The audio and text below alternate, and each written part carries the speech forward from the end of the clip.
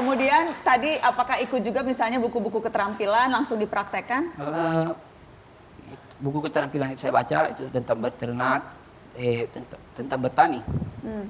Pas saya baca-baca, saya baca terus, akhirnya saya tertarik juga. Ah.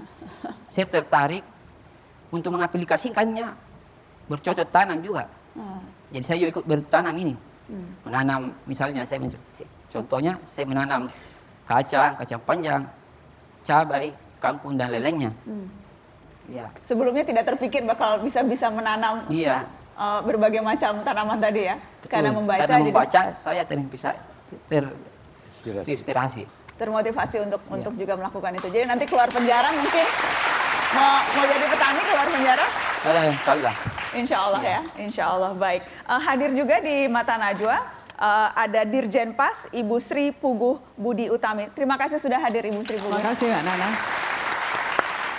Ibu Sri, yang dilakukan di Maros ini eh, proyek percontohan pertama. Apakah kemudian kita bisa lihat hal yang serupa juga dilakukan di lapas-lapas yang lain, Ibu? Terima kasih Mbak Nana.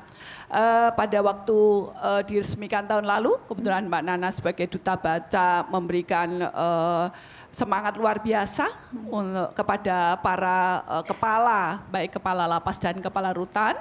Eh, akhirnya sekarang ini berlomba-lomba membenahi perpustakaan yang dulu eh, konvensional, sekarang ini lebih eh, progresif dengan mendatangi eh, warga binaan pemasyarakatan seperti tadi kita eh, dengarkan eh, ngasong, kemudian ada juga eh, menggunakan kereta dorong, kemudian juga ada yang menggunakan sepeda supaya eh, membangkitkan semangat baca kepada mereka sekaligus sebenarnya juga memberikan ruang agar mereka tidak eh, merasa jenuh selama di dalam. Eh, Ini me- di, di LPLP mana saja Bu yang dengan segala kreativitasnya berusaha untuk mendekatkan buku ke warga binaan? Eh, kalau di Jawa hampir ada seperti itu dan eh, baru saja saya kembali dari Aceh ada cerita yang luar biasa dari anak didik Eh, pada saat yang bersangkutan selesai membaca satu buku dengan tema tertentu eh, bisa menjelaskan dengan lebih baik kepada teman-temannya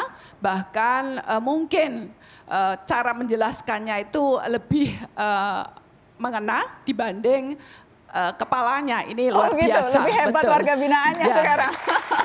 Jadi kita cerita pengurangan masa pidana bagi mereka yang sudah membaca banyak buku belum, eh, belum ada aturannya. Untuk itu maka nanti kita akan eh, berikan reward kepada mereka yang masuk eh, sebagai penulis terbaik eh, dengan hadiah berupa eh, tabungan. Mudah-mudahan dengan eh, pemberian hadiah dengan eh, apa piagam dari Bapak Menteri Hukum dan HAM, eh, minat baca teman-teman di dalam eh, lapas menjadi semakin meningkat.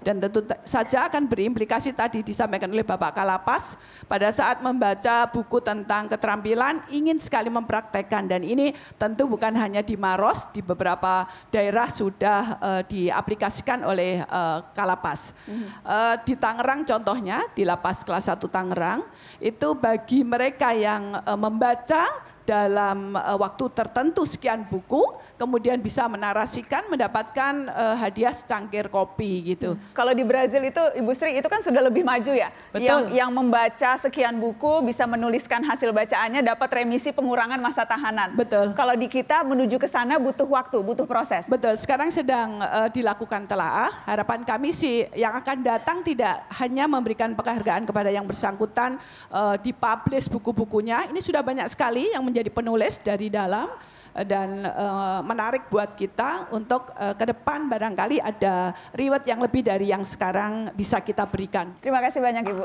Makasih Mbak Nana. Jadi Pak Warsianto, sekarang yang ditunggu bagaimana masyarakat bisa membantu, kita bantu kirim buku sebanyak-banyaknya. Ya, terima kasih. Seperti itu yang dibutuhkan ya. Yang kita Semakin butuhkan. banyak buku, jadi yang Semakin. diperlukan buku humor, Humor. buku cerita ya, Cerita. novel supaya bisa berimajinasi, uh, buku keterampilan, Keterampilan dan agama. buku agama. Ada buku lagi yang request? Banyak yang lihat di mata Najwa, nanti akan banyak yang kirim buku. Ada buku apa lagi yang spesifik? Itu saja. Itu saja ya. Nanti saya akan kirimkan buku khusus untuk Ade. Terima kasih sudah hadir di Mata Najwa. Terima kasih sudah hadir. Tetap di Mata Najwa, setelah ini ada satu cerita baik, cerita penutup untuk kita malam ini. Jangan ke mana-mana. Jadi Iya. semua yang diterima karyawan di Tech Engineering ini lulusan SMK. Kita nggak pernah interview mbak. Nggak pernah interview. Datang mau belajar, gabung bisa gitu. Semuanya diterima jadi. Kita nggak pernah nolak orang. Oh ya?